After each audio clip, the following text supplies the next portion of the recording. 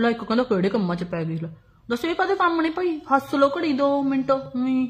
ਕੰਮਾਂ ਨੂੰ ਕੀ ਹੋ ਗਿਆ ਦੱਸ, ਹੈ?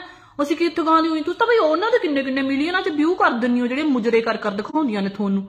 ਹਾਂ ਤਾਂ ਚੰਗੇ ਭਲੇ ਤਾਂ ਬੈਠੇ ਹੋ ਸਿਰ ਟੱਕ ਕੇ ਲੈ ਗੱਲਾਂ ਮਾਰਦੇ ਆ ਤੁਹਾਡੇ ਨਾਲ, ਦੱਸ ਇੰਨੀਆਂ ਵਧੀਆ। ਉਹੀ ਕੰਮਾਂ ਨੂੰ ਦੱਸ ਕੀ ਹੋ ਗਿਆ? ਆ ਵਾ ਉਹੀ ਆਪਦੀ ਪੜਾਸ ਕੱਢਣ ਲੱਗ ਗਏ ਲੈ ਦੱਸ। ਸਾਰੇ ਤੁਸੀਂ ਤਾਂ ਭਰੇ ਪੀਤੇ ਫਿਰਦੇ ਹੋ ਭਾਈ, ਉਹੀ ਮੇਰੇ ਤੇ ਹੀ ਲੱਗ ਗਏ ਦੱਸ ਲੈ। ਕੋਈ ਗੱਲਾਂ ਨੇ ਇਹ?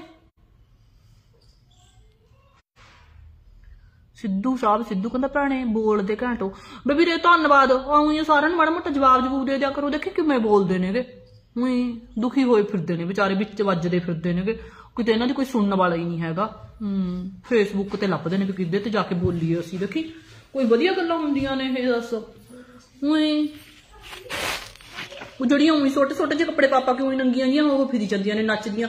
ਉਹਨਾਂ ਨੂੰ ਜ਼ਿਆਦਾ ਵੱਡੇ ਲਾਇਕ ਵੀ ਕਰਨਗੇ ਸ਼ੇਅਰ ਵੀ ਕਰਨਗੇ, ਸਭ ਕੁਝ ਕਰਨਗੇ ਉਹਨਾਂ ਦਾ।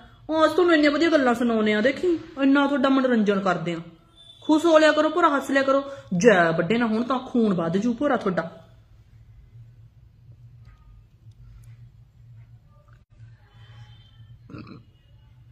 ਰਾਮ ਸਿੱਧੂ, ਸਤਿ ਸ੍ਰੀ ਅਕਾਲ ਜੀ, ਹੋਰ ਠੀਕ ਹੋ? ਹਾਂ ਹਾਂ, ਵੀਰ ਠੀਕ ਹਾਂ ਉਹੀ ਵਿੱਚ ਖੂਨ ਸਾੜੀ ਜਾਂਦੇ ਨੇ ਲੋਕ ਆ ਕੇ, ਬੀਪੀ ਮੇਰਾ ਵਧਣ ਲਾ ਦਿੰਦੇ ਨੇ ਆ ਬੋਲ ਕੇ। ਹਾਂ।